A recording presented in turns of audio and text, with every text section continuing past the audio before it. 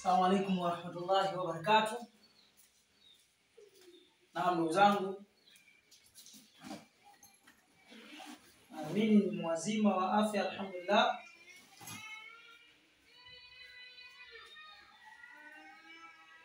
Na Naamini mwazima wa afya na Mwenyezi Mungu anaita wepesi. Nami namshukuru Mungu muumba mbingu na nchi amejalia kuwa hai mpaka leo hii. Ndugu zangu, kama tulivyoahidi, wanafunzi wangu, kama tulivyoahidi, walimu mbalimbali, kama tulivyoahidi, nitakuja kuletea muendelezo, kuja kukuleteni mwendelezo wa somo la kumvuta mwanamke na kuwa naye. Nikatoa njia ya kwanza ya kuweza kummiliki huyo mwanamke, kumtawala kwa kutumia namba saba. Leo sasa nitakufafanulia kwa nini ninahitaji sana namba saba ina maana gani? Kwa nini namba saba inatumika katika mapenzi, inatumika katika kuua, inatumika katika kuharibu, inatumika katika kuroga?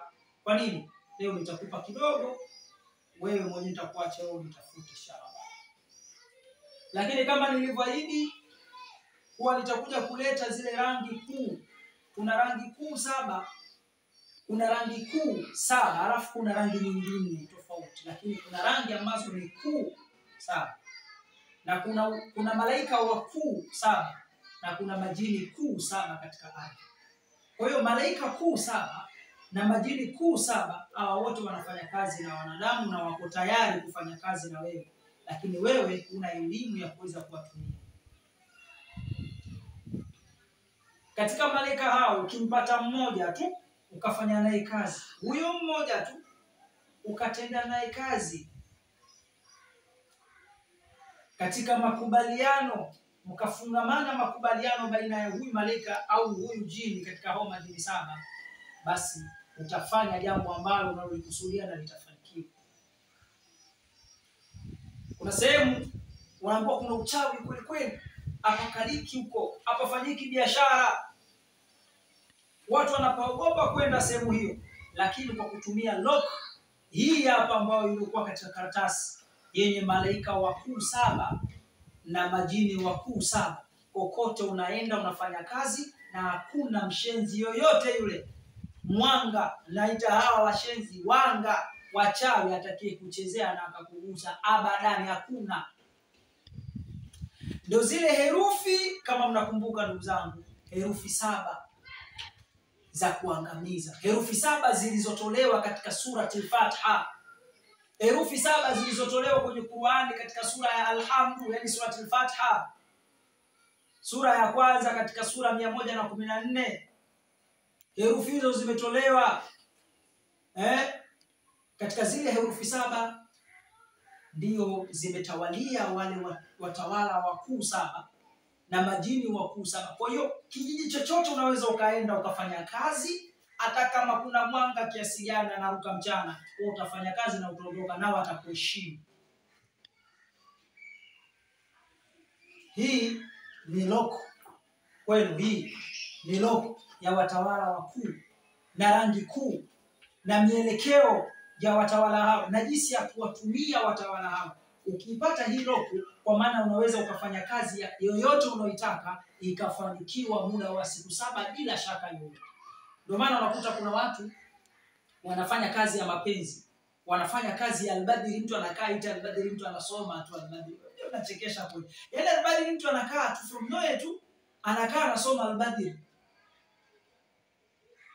Unajua, unaposoma albadiri kuna saa zake na nyakati zake na watawala wake, ndio albadiri itajibu. Sio kila muda tunakaa unataka kusomea albadiri. Njoo nikusomee kinga ya albadiri unakaa unasoma dua ya mapenzi kwa muda yani muda wowote tu alimradi. Ndio maana nikakwambieni kuna lock nimekuja nayo ya karatasi hii hapa, nakutangazeni hii ni lock. Hii lock imeshika mambo yote hapa duniani unataka kuyafanya, unataka kufarakanisha, kuharibu, kupatanisha, kuvuta. Kwa kutumia watawala hawa unaweza kufanikiwa kwa haraka. Sasa ndugu yangu, ili ujione raha ya tiba unazozifanya wagonjwa wako wanafanikiwa, unamuita malaika anakuja, au unamuita jini katika wale majini ya saba wakuu, unamuita jini anakuja, unamtuma kazi, nenda sehemu fulani bwana, nenda nchi fulani, au nenda mkoa fulani, au nenda kwa fulani nyumba namba fulani mtaa fulani kitongoji fulani. Huyu mtu anasumbuliwa na kadha kadha nenda akamtibia anakwenda huyu kiumbe na anakwenda kufanya kazi. Hii katisi na mambo makubwa sana jamani yaani kwa wale waelewa wenye elimu wale waelewa nikisema wale waelewa wanajua nini nilichokizungumza. Sikutakiwa hii katasi leo nizungumzie lakini hii ina mambo makubwa makubwa mno. Unatibu unaharibu kupitia lopo ya katasi hii. Moja kuhitaji hii lopo ya katasi, nitafute kwa namba zangu za simu sifuri saba arobaini na mbili ishirini na tatu arobaini na tano hamsini na nne. Nitakupa loko ya hii karatasi utafanya kazi ka- na hawa viumbe utasafiri nao na hawa viumbe. Hata tunapoambiwa shkeli tunataka kuitumia shkeli yaani shkeli ili ifanye kazi kwa wakati ulione raha shkeli inaua shkeli inaharibu shkeli inafarakanisha ni kwa sababu ya loku ya malaika hawa. Je unajua? Wewe unajua ndio malaika wako sawa? Lakini kuna loku yake ili kumtumia ule malaika kumuita akaja. Mfano nataka nikutolee mfano. Mfano mdogo tu uh, katika hii karatasi kuna loku ya mpira. Kwa kutumia hawa malaika unataka ku, ku, ku, kuwafanya maadui zako unaoshindana nao wasiweze kuliona goli. Loku hii. Unaandika pale hadimu unaandika mfano wa mtu tayari kisha kuandika mfano wa mtu vizuri kabisa na karatasi yako nyeupe unaangalia loku iliyokopo hapa unaandika ile timu iliyokopo pale unatafuta kifaranga unachinja unapata damu yako vizuri unatengeneza. Azima kuna maneno unakwenda kuyaweka. Hayo maneno kuna maneno utayasema katika hiyo karatasi uliokuwa nayo kwenda kuweka katika ule uwanja au kwenda kuzika katika kisiki kilichokufa. Kisha unasema kuna maneno fulani utasoma ambayo yapo katika hii logo ya karatasi sitokutajia kwa sababu gani sitokutajia kwa sababu maneno hayo tu. Hayo maneno tu. Ni matatu tu hayo maneno. Lakini hayo maneno yanafarakanisha maneno hayo yanaua maneno hayo yanaharibu yanatia maradhi lakini kwa malaika fulani na loku yake ambayo ipo katika karatasi hii.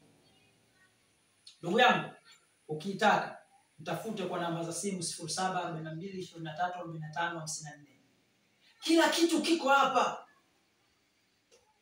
hakuna mwanga atakaye kusumbua ukipata loku hii. Hakuna mgonjwa ambaye unamtibabia leo mgonjwa anaenda kesho anarudi bado. Mimi hapa yaani ukipata loku unajua mimi cheze na malaika huyu vipi? Anaelekea nielekee wapi? Niwe na rangi gani? Nifanye nini ili jambo liweze kutimia? Namtuma malaika huyu au namtuma khadimu huyu jini huyu aende kwa fulani akamfanye kuwa chizi wa mapenzi kwa sababu yangu. Loku hii ipo humu katika katasi. Nitafute nikupe hiyo inshallah na utafanikisha. Tafuta Khalfa Saidi kwa namba zake za simu 0748 0788 tafute huyo. Ukikosa kunipata mimi ukiona simu iko bize mtafuta. Nikupatie loku hii ya katasi tutaelewana inshallah. Biidhnillahi taala karim nitaku- nitakupa kwa kiasi. Lakini kaa ukijua na ukifahamu sitokupa kwa bei rahisi hii katasi sitokuuzia hii katasi kwa bei rahisi kama unavyofikiria wewe. Tunaelewana vizuri? Sitokuuzia hii katasi kwa bei kwa sababu najua nakupa kitu kikubwa. Kwa hiyo jiandae kabisa na mtafuta sharifu lakini ujiandae kuwa na swadaka iliyokuwa kubwa na mimi nitakupatia karatasi hii. Ukafanye kazi eh, na kazi zako zitakuwa nyepesi. Sasa leo ndugu zangu namalizia au nakupeni ile nakupeni zile eh, zile zile zile siku kama tulivyosema kama unataka kumvuta mpenzi nikasema darasa la kwanza nilikuita shekhe umeweka vizuri? Mm. eh, inaonekana vizuri? Mm.